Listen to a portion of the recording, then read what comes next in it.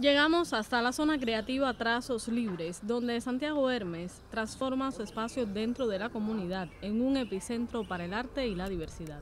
En estos días, donde el barrio permanece en silencio, este promotor cultural y su familia buscan nuevas iniciativas para masificar el impacto de su trabajo. Esta idea surge a partir de, una obra que hice con el título eh, Cuba Salva y mm, ha tenido mucha repercusión en las, en las redes el, grupo de, solidaridad con Cuba de Argentina lo vio y, me pidieron utilizarlo como imagen principal para su campaña. Este tuitazo al que convocan tiene como premisa impulsar en el mundo un mayor reconocimiento a la labor que realizan los profesionales cubanos para enfrentar la epidemia desde Cuba y otros países. Estamos convocando ahora mismo a, dar un tuitazo que, funcionará, eh, comenzará a las 9 de la mañana del viernes.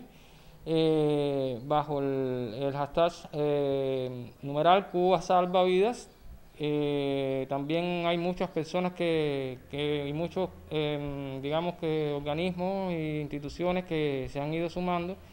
Eh, estamos preparando esto junto eh, al, ICAP, al Instituto Cubano de Amistad con los Pueblos de acá de Cienfuegos, eh, también el grupo de, solidaridad con Cuba y Argentina ha, estado protagonizando esta idea junto a otros grupos de solidaridad con Cuba de diferentes países como Francia, incluso en Estados Unidos.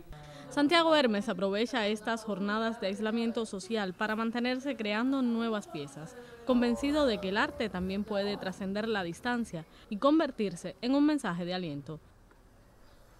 Ana González Figueredo, Notisur.